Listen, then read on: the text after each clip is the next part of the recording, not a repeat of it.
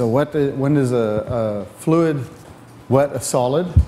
We saw a special case of a flat solid, and we want to ask the question, basically, how do we produce a water repellent surface? So the best way if you want to ask questions like that is you look at nature and see how they do it. And we'll see what they do is they basically use, have, use waxy surfaces and then they make them very rough. And this discourages wetting because there's basically a high energetic cost of the fluids uh, wetting the solid. So that's all very good in vague terms, but how do we quantify it? How, how do we and what is it that makes something water repellent? Is it simply the contact angle, or is it the ability, really, when we think of water repellent, we want a raindrop to hit the surface and then roll off it, right? So that's, uh, that's really the principal uh, dynamical constraint is we don't want drops to stick to solids. So this is a big field, has been in, in the last decade owing to advances in microfabrication techniques, so they can now make, make surfaces with texture on the micron scale uh, reliably. And so uh, it's opened up the possibility of this uh, creating biomimetic um, water repellent surfaces. Biomimetic simply meaning copied from nature's designs.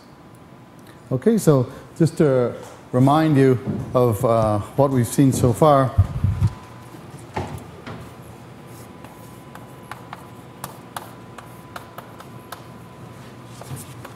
From lecture three,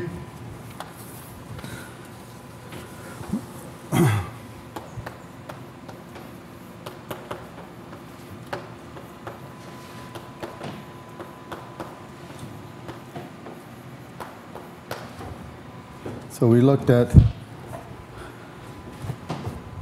yeah.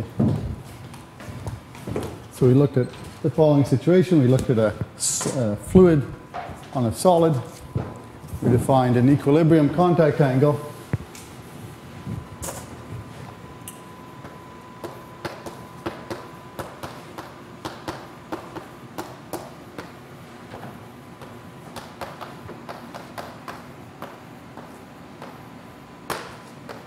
Okay, so the simplest way to see it is from the um, horizontal force balance at this at the contact line. But you can also see it by looking at the uh, energy of moving the interface. Okay?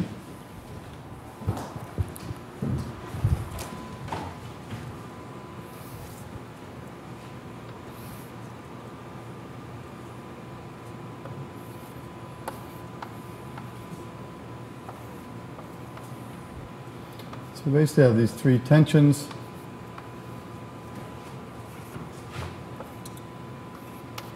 And the force balance gives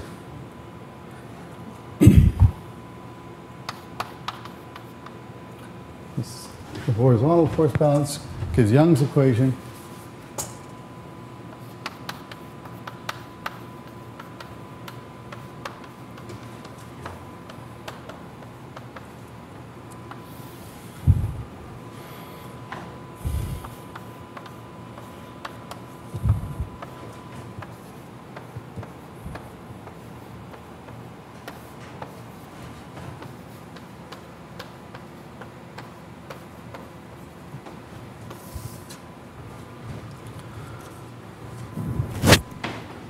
Okay, so we can also think of this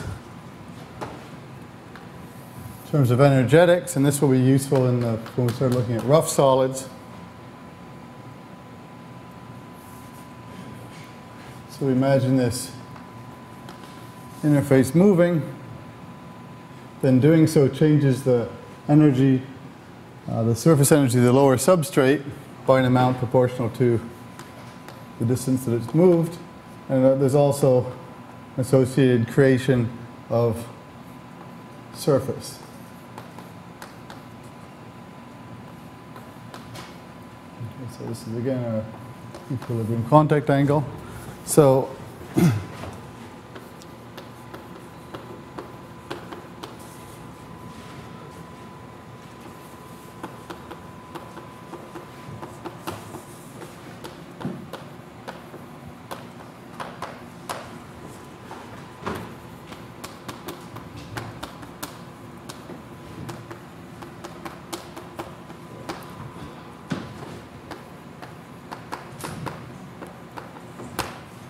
Right.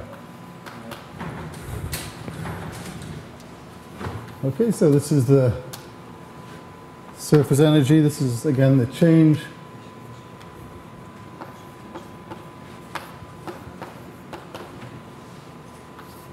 from the moving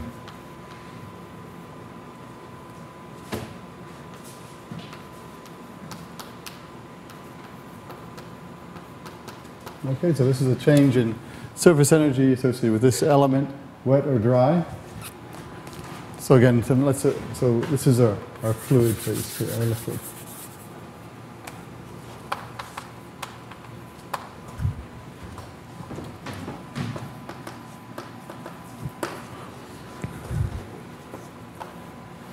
Then we have the additional surface energy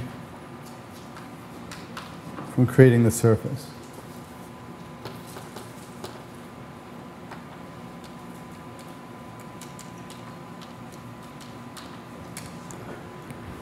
Okay, so in equilibrium,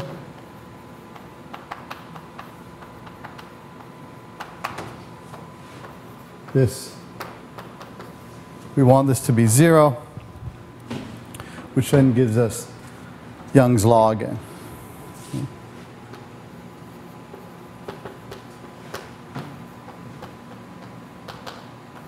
Okay, so that's a very simple view, and it would be nice if that was all there was to it.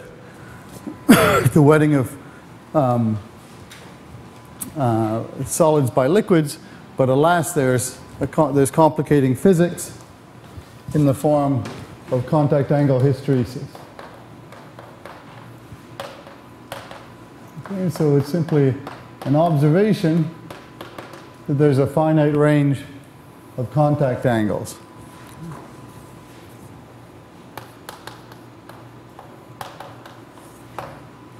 Static contact angles. So for a given solid, liquid,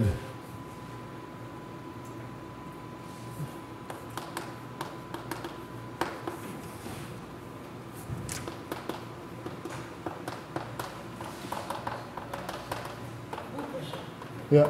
Where do you, you have this uh, difference between what used to be solid liquid and now is solid vapor, right? Yeah. And then you have a term for uh, creating interface. Yeah. So you're saying that uh, the size of the interface, uh, the gas liquid Yeah. Yeah. So that's not. It just sort of depends on the geometry, but locally that should be true. Right? So near near the interface. Um, okay. So so we have. Um, so this is just a an empirical fact. One sees that there's a max, there's a maximum and a minimum, and we can see this experimentally.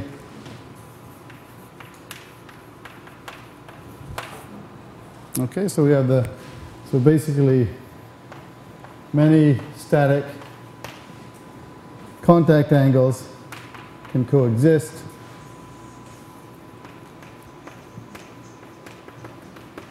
And this is going to depend on the chemistry.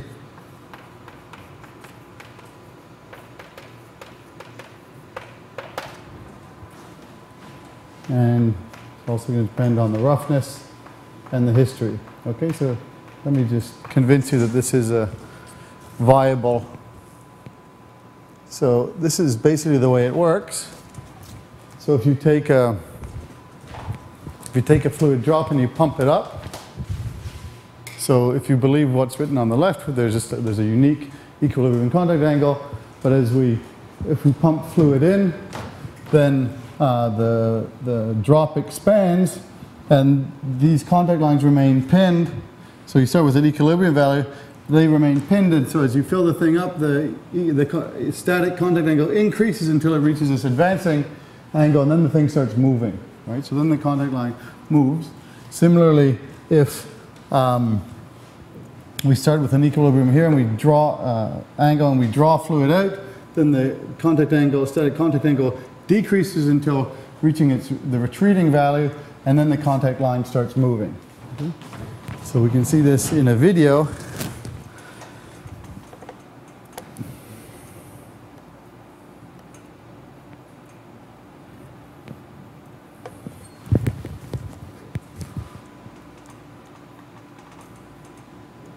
Can we do this? So show large size. Oh, that's too large. Oh.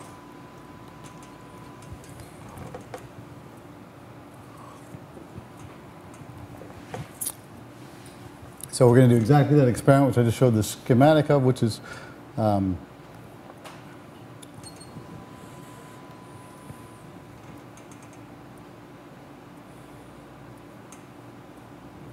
pumping up a, a drop sitting on a surface.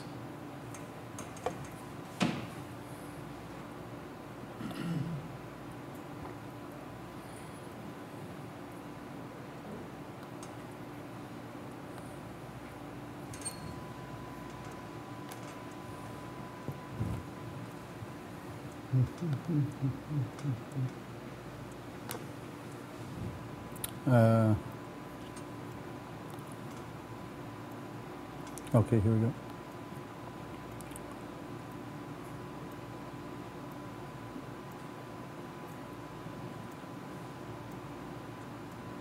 Okay, here we go. Here. This won't be too ridiculously large. That's, okay, so we pump it up. Start off with a drop its, at an equilibrium value, and you see that the these angles increase, and then the thing spreads. And now, if you draw fluid out, there will again be a so there's actually a finite range of angles in which the thing is uh, static. But if you exceed the advancing angle or the receding angle, then uh, the drop will, then the situation becomes dynamic, and the contact line is no longer stable. Okay, so if you, in between those angles, if you stop, will it go back to the original angle that we to? Uh, in between, it- so it's, it's happy anywhere between the advancing or the retreating, right? Like it'll just sit there. If, if you pull down your little straw there, then you Yeah, so at any given time, if it's static, it will remain static. It'll only become dynamic if you exceed the, uh, But if you stop the pumping, say, Yeah. will it, will it, will it pump up the straw or will it, it equilibrate, right? But what what I'm saying is, I would Right, expect, if you're in between. yeah, So here you're- It will pump this fluid back up the straw?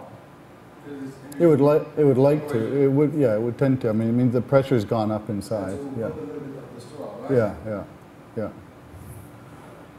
But you can remove the straw, right? I mean, you can add add fluid as, as much as you like, and it will go to an equilibrium value, and the, and the static contact angle in that equilibrium will be somewhere between the advancing and receding. That's all, you, all you can really say, okay?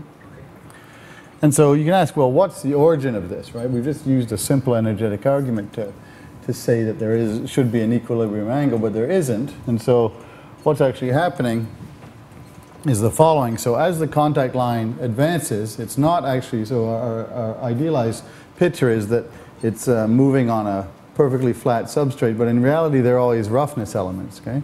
And so as this, as this contact line advances, it basically gets snagged on roughness elements, on impurities, so there can be junk down on the surface, so either chemical impurities or, or texture. And as the contact line moves, uh, it gets snagged on it, and so uh, basically becomes irregular. So what's moving, what you have moving along here is not a, a perfect plane, it's a rough, it's a rough surface, and this corrugation is energetically costly. We know that whenever you create uh, surface area, there's an energetic penalty. So this indicates that there's an energetic penalty to moving a contact line. So what this is, is basically drawing a rough plate. So this is a very small scale. I don't, I'm not exactly sure uh, what, but um, we're basically pulling it out of a bath. So you can see that the, that the front does not, is not a perfect line as a result of these uh, inhomogeneities on the surface.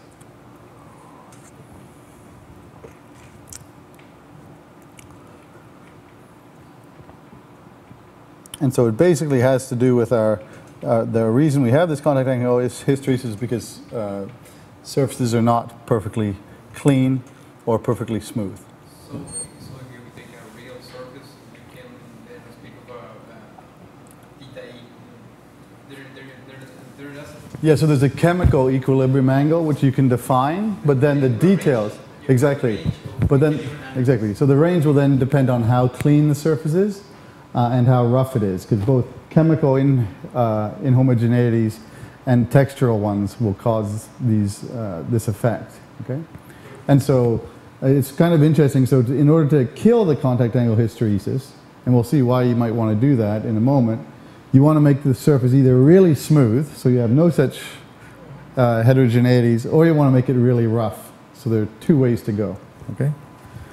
So so let's. Uh, So if you put two drops into a, into a real surface, you will observe them at different angles. Yeah, yeah, you can do. Yeah, yeah, yeah. Okay, so um, so so one thing you can see immediately is if you have this range of angles, if you have a roughness, if you have a corner, so let's just imagine we have a surface which is not quite planar, say it looks like that, then and the, we have a fluid advancing and it has a contact angle, say, so this is our corner. Um, it has a contact angle of this, say, uh, relative to this, so that's theta E. This is our liquid. Then as it advances over this thing, then it can actually flip over uh, at this point here. You can say, well, what's the, where, what's the equilibrium contact angle defined in terms of? Is it defined in terms of this surface or this surface? So if you define it in terms of this surface, then it can go woo, uh, eh, eh, something like this, right? So you have this, this large range of admissible contact angles. So all the way from here to here as you go over a corner. Okay? So you have an ambiguity in the contact angle, and so this is why uh, con- uh, contact lines tend to get pinned on edges. So, and this is why you can over, overfill a container. It's basically the contact angle gets, the contact line gets pinned. Okay. So, so when it, and this is kind of this is consistent with so roughness elements. There's basically uh, there tend to be tends to be pinning of contact lines on roughness elements. Yeah. Yeah, thing, uh, I. So hysteresis for me has to do with loading and unloading. Yeah. So Yeah. it, what is the- So depending on whether you're uh, so it depends on its past is the, the way I think about it. Right. on the memory, if you like. So, so the uh, as the uh, whether you've filled it up from below or from above, for example, you can have a drop with the same fluid, and depending on its past, which way you've loaded it, it's going the equilibrium contact angle can be different. The contact angle will be different. Yeah, yeah. Okay. yeah. And so, uh, right. So, okay. So, so who cares about contact angle hysteresis? Well. Um, if we have a difference, if we have a range of contact angles, then uh, it causes drops to stick. And again, if you're trying to design a water repellent surface, you don't want drop sticking. If a drop sticks to a uh, metal wall, then it's going to tend to rust, right? You're going to get oxidation, which you don't want. There are many other situations, and particularly in biology, a lot of processes require access to air, and they don't want to be wet. So the leaves don't want to be wet uh, or they can't photosynthesize. And so you want to be able to repel drops. But if you have this contact angle hysteresis, then if we have a drop on a solid, if we tilt it, then you can have a range of contact angles. So basically, this is going to go, this can increase up to the advancing angle, this can go down to the receding angle. And because of the difference, there's this pinning force, right? So it's basically stuck until it reaches a critical angle and then the thing goes, right? Now, critical angle is going to depend on the size of the drop, right? Because if you think of a, a drop stuck, uh, say, on a wall, if it's symmetric, as this would say, right? This would say that this equilibrium contact angle is just uh, the, the contact angle is just the equilibrium one. So how do you do the force balance? Well, you say mg downwards is matched by uh, the net, net tensile force upwards, which, if it's symmetric, is going to be zero, right? So if, if, if you have a, a unique contact angle uh, then there's, can, there's no possibility of supporting the weight of the drop, so it will just fall. But now we have the situation where the drop actually looks like this, or can look like this, where this is now the uh, retreating angle, this is the advancing angle, and you can still have a sta- static situation. So then, the net force you get by integrating the, the tensile force around the contact uh, line, and uh, you see that the, uh, this contact angle hysteresis can support the weight of small drops. So that's what we just saw there, and we can see it again. And of course, there's going to be a, a size at which it doesn't work anymore. So here there will be a critical angle, and this is how you can measure the contact angle hysteresis, right? Basically, know the weight, the size of your drop, and you measure the angle at which the thing starts moving.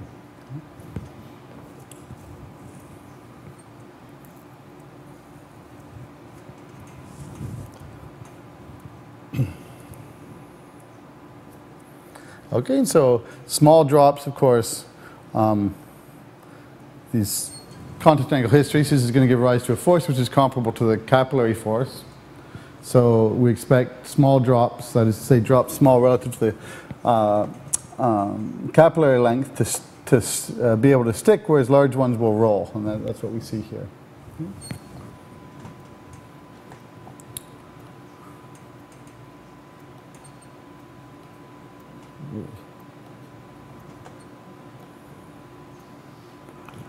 So, okay, so we've just seen this, and uh, and we basically argued about this. So on your problem set, um, on your problem set, I ask you to do to do. Um, let me get the the. Uh, to look at a slug of fluid in a tube, which is actually the easy, the easier geometry. Um,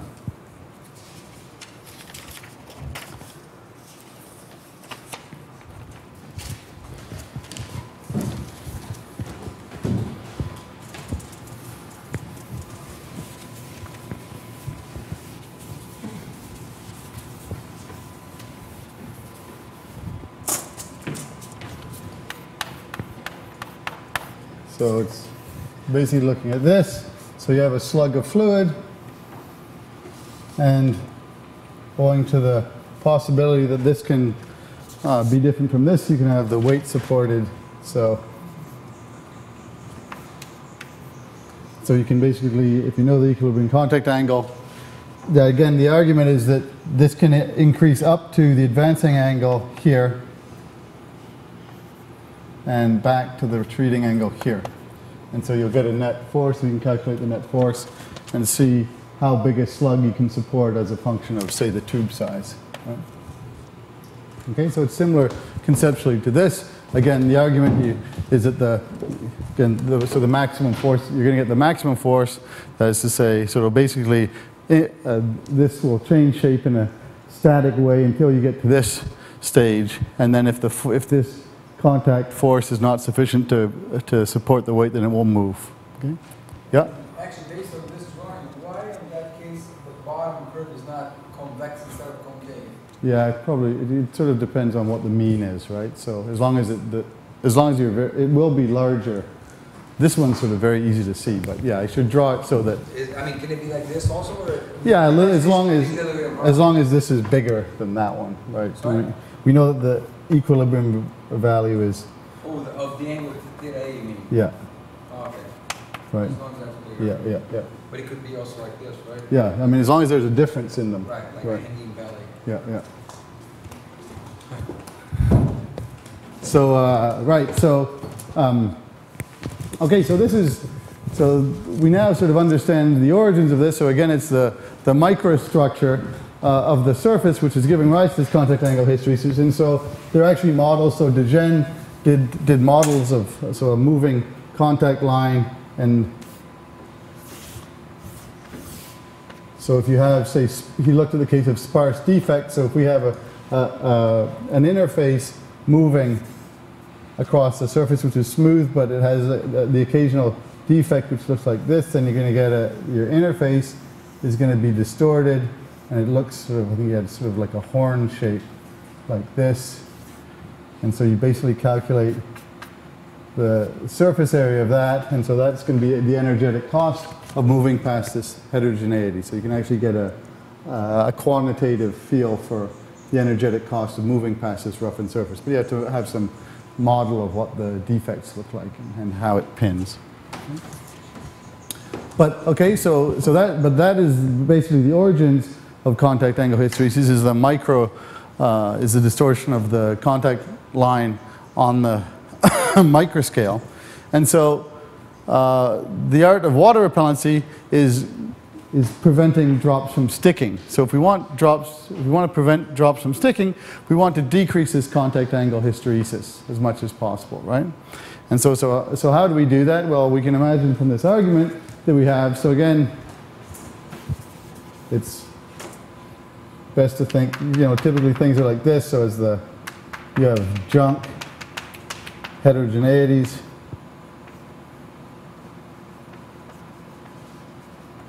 and these can be in texture or chemistry. So most things, most surfaces are rough. The only thing that isn't is glass. Glass is one thing which you can get smooth down to sort of a five, five micron scales So five microns or even smoother. But in any case, you, as this contact line moves along, it gets caught on the heterogeneities. And so this corrugation of the surface.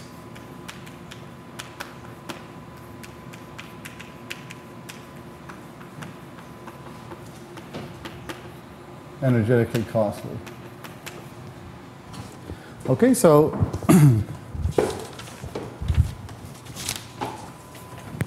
we want to get around this, and the best way to solve problems like this is how do you create a water repellent surface? You look at nature. And so nature has uh, solved this problem.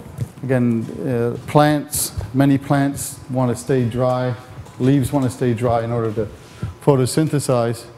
And so they've, they will have structure. Have you ever seen a drop rolling on a lotus leaf? It rolls as if there's no friction whatsoever. Okay? And uh, this is because of its texture. So down to the micron scale, you have, this so basically uh, bumps, and you see these bumps have bumps, and the bumps have bumps. So you have this hierarchy of, of texture, and also the surface is waxy. Okay, so water doesn't like to be on wax, the contact angle is high, so uh, just from the fact that it doesn't want to be on wax, uh, if you make a waxy surface very rough, then there's a huge energetic cost of wetting, right? So if the drop is going to actually impregnate all of the roughness elements in the wax, it's going to be, there's going to be an enormous cost. It will tend not to. It will tend to bead up on the surface and then roll. Okay. Okay. So now we want so we want to start thinking about how how we can quantify uh, roughness, Uh, the effect of roughness on wettability.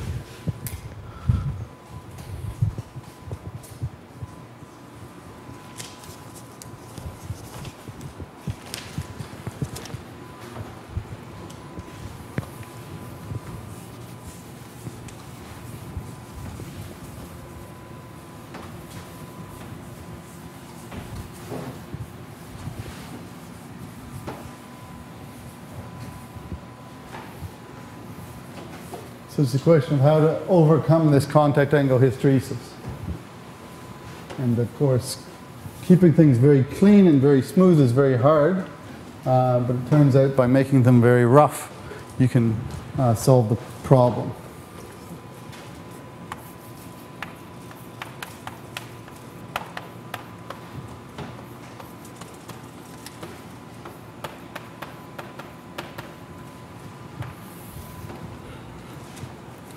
Okay, so you can ask the question if we have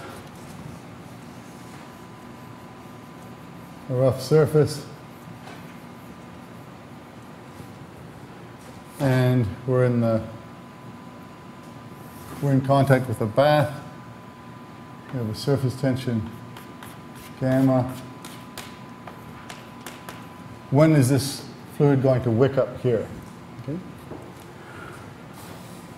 So think of these things as islands on a planar surface, so we basically have bumps. And I can just as well turn this sideways. We're not going to worry about gravity. We're on a scale where gravity is not important.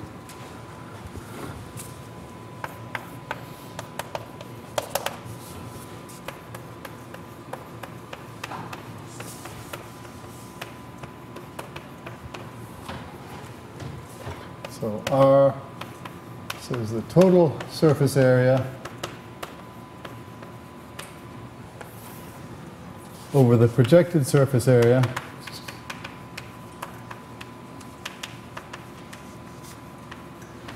of this roughened surface. So basically take the surface of the islands plus the surface of the substrate to get R and compare it to the planar area. So this is necessarily always greater than 1. And then we have the second roughness parameter, which is the area of the islands. So the top of the islands over the uh, total area. So this is necessarily less than 1. Okay? So these will come up in our musings here. So if we imagine how much energy we get as this thing advanced by an amount delta z,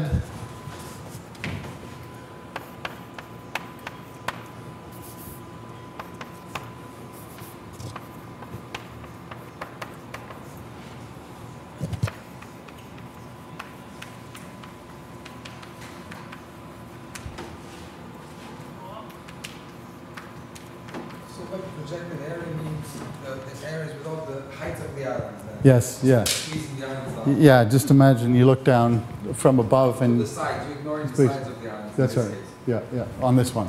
Yeah. Yeah. Tops of the islands. yeah. So that one is the top of the island, and the other one is the side of the island that did not count when you projected. Yeah, so this is the The total area. the That's right. Yeah.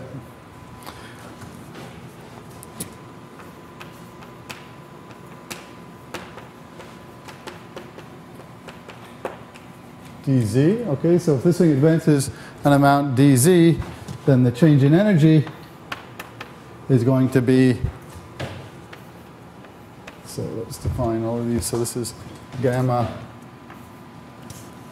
solid liquid, and this is gamma uh, solid vapor. Okay.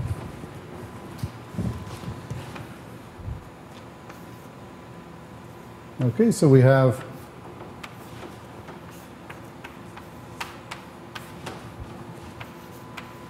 two components.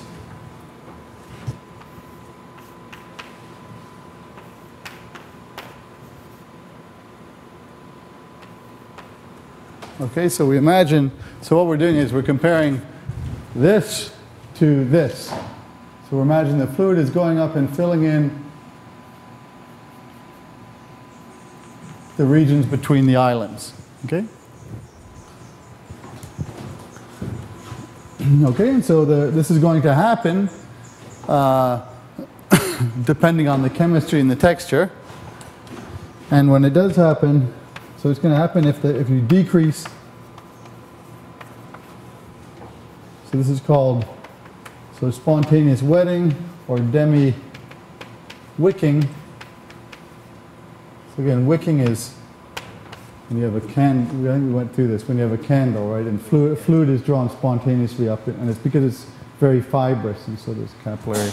It's very rough and fibrous, and the capillary action pulls the stuff up. So this is wicking when when this change of energy is less than zero. So if it's energy energetically favorable for the uh, fluid climb, then it will do so. And so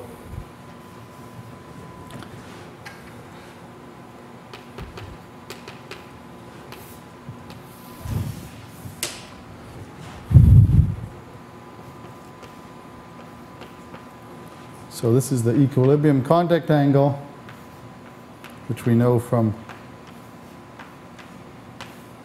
Young's law. So when this is greater than some critical value, which depends on both, which depends on the shape.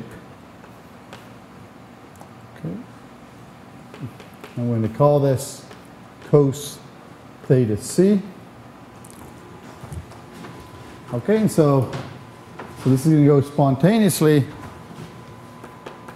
if the equilibrium contact angle is below this critical angle.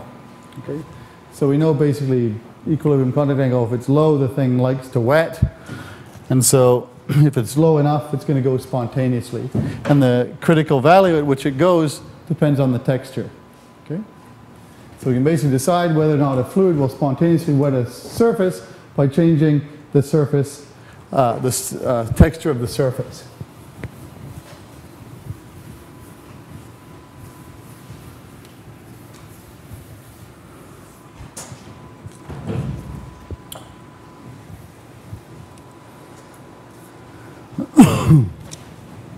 Okay, so we know that we can control. So the chemistry determines theta E.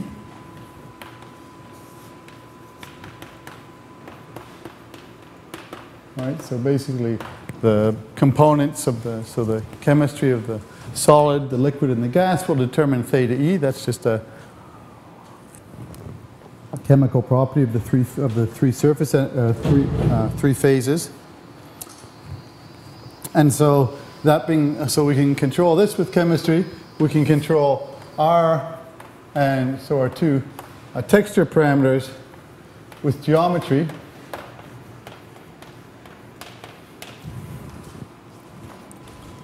So we can prescribe the wettability of a surface.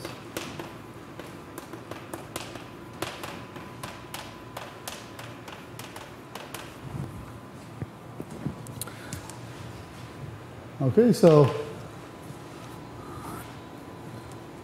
if we have a very rough surface, so we can, if this number is huge, if r is much greater than 1,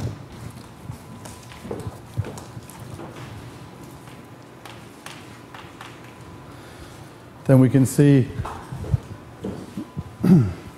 that uh, theta c goes to pi by 2.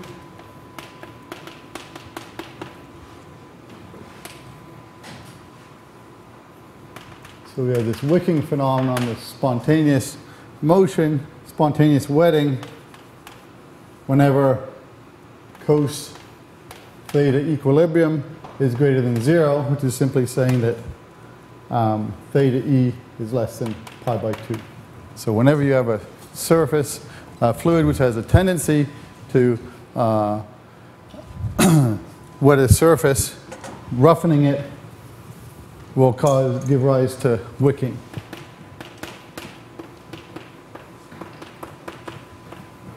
So any, so if this is, for example, if we're looking at water, then any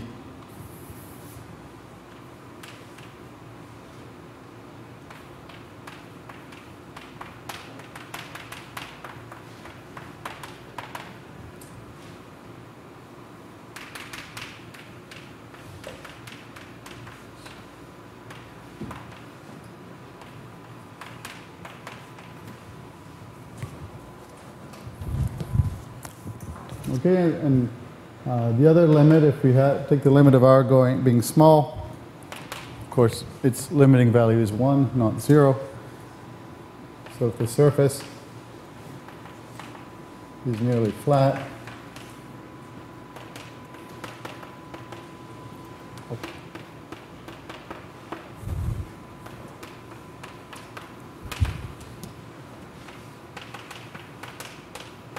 then you get wicking when cos theta e is greater than 1, which is to say never. Right?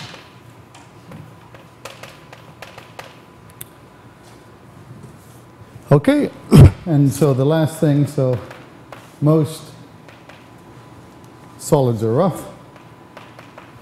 So this is a concern.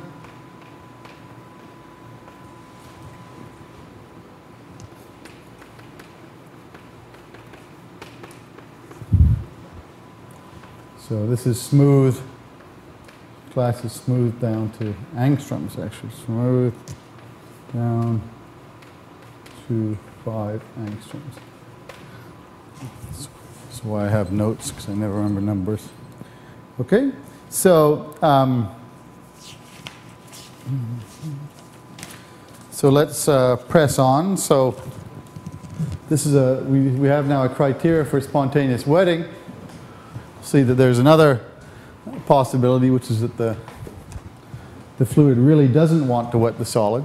So in the opposite case, in fact, the case that we want for water repellency is the case where the drop beads up and does not impregnate the roughness elements on the surface.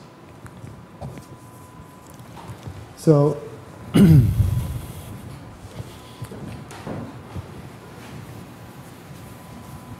But this number will come back at us, this uh, theta c.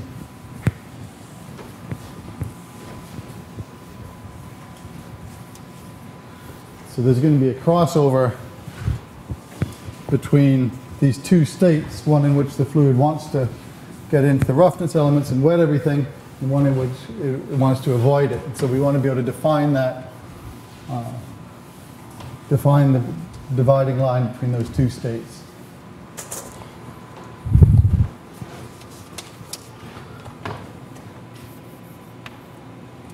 One thing I can perhaps mention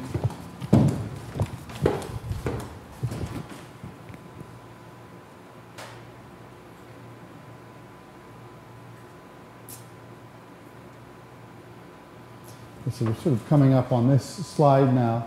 Uh, so we're going to see that there are two different states uh, according to whether the fluid penetrates the solid or not. Um, and basically it turns out this is going to be what you want. This is what the plants achieve for water repellency. And the reason this is desirable is that this decreases delta theta here is the contact angle hysteresis. Okay, so um, it turns out that this you can also get very high contact angles in this situation, as we'll see. We'll derive all these equations, but um, uh, the contact angle hysteresis actually increases it in this situation when you have the spontaneous uh, wetting. And so if you want a drop to roll off a surface, as on your Gore-Tex jackets, uh, you want this to be the case. Yeah? And so uh, we basically want to be able to distinguish between these two cases by, uh, by looking at the texture and the chemistry.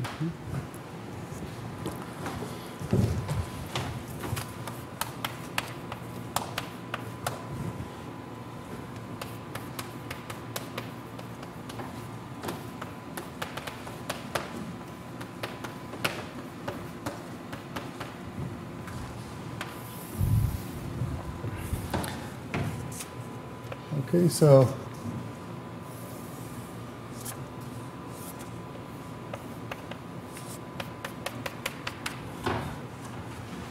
so if we have a flat surface and we roughen it, so what happens?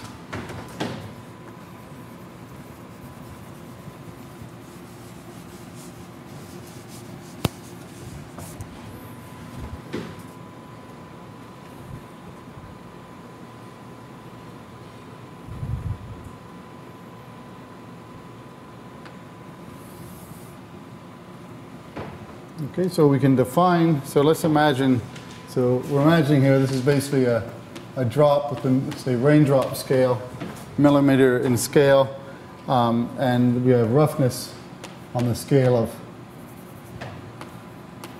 1 to 10 microns. Then we can define an effective contact angle. Of course, it's just a sort of a, a mean, right? Because locally, you're going to have this, but it can be stuck on a corner. It'll depend on the local uh, topography, but basically, just by looking at it with a microscope, you can see, you can zoom in and see uh, what this looks like. Okay? sort of like a macroscopic um, contact angle. So let's define that.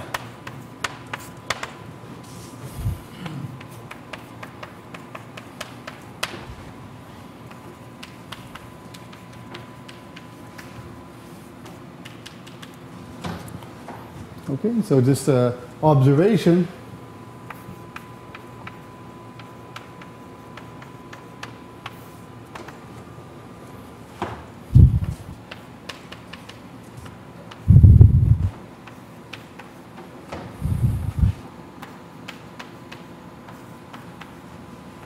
Okay, so if the equilibrium contact angle uh, is, as in this case, less than pi by 2, which is to say let's just to say we're talking about water to make the language simpler. If this thing is hydro, uh, hydrophilic, it will become more so here. Okay? So that's to say, so it wants to wet it, it'll want to wet it even more if it's rough. And that makes sense because, uh, again, if it wants to wet it, it's going to want to wet it even more uh, if it's rough because if it moves a little bit, it actually wets more surface, so there's more uh, energy released, right? Okay, and if you have, if the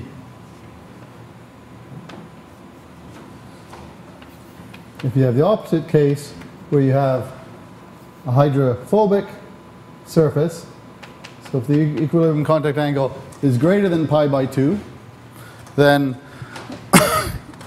it's going to become even more hydrophobic. So that's basically you're going from this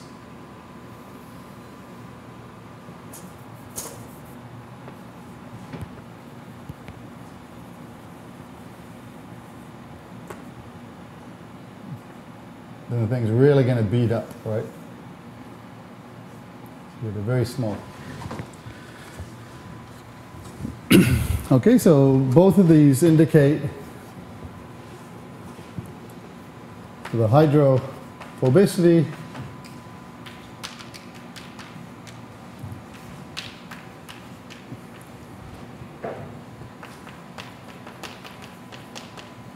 hydrophilicity. So this is hating water, liking water, enhanced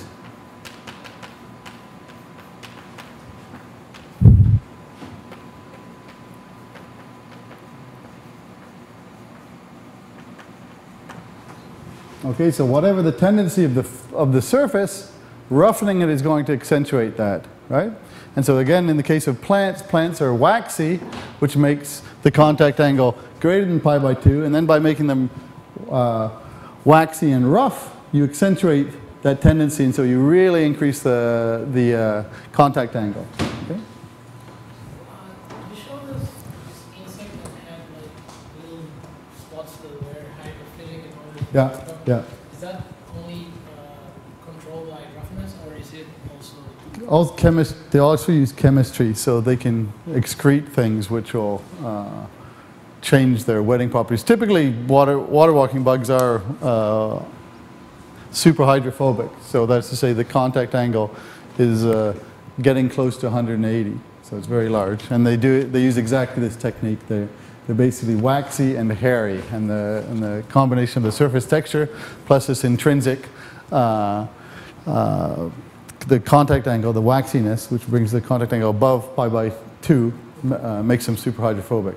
It's actually interesting because that was the very first experiment we did with bugs was to, um, we were wondering how close they were to falling through the interfaces. We know that they're slightly heavy relative to water, so if they weren't water repellent, they would just sink. Right? If you put them underwater, they sink.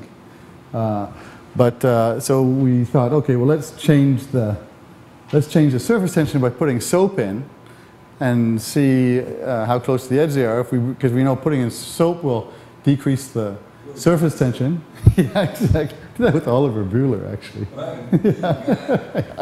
And so, and sure, so we put the soap in, and sure enough, they fell. They just fell right through the interface, and it wasn't. But it wasn't for the reasons we thought at first. At the time, I, I, I sort of got into wetting through this, um, through the, these biology problems, but it was because the the soap changes the contact angle from uh, greater than pi by 2 to less than pi by 2. So you suddenly go from something which is hydrophobic and rough, so super hydrophobic, to something which is now hydrophilic and super rough. So it goes from being super hydrophobic to super hydrophilic. So, so basically putting the soap in changes the chemistry, and so they become hydrophilic, then super hydrophilic, and the, and the and the water just wicks into their roughness, right? So basically it goes right through, and so then they, then they just sink through the interface. Of course, you can fish them out, and they clean themselves off, but it was quite striking. But it is, it's a nice example of this, uh, of this effect, right? Basically the, the roughness. So if you can just, so, so exciting things happen around pi by 2, right? You just go from being slightly above to slightly below, and, and uh, you change the things massively, right? Qualitatively. Okay, so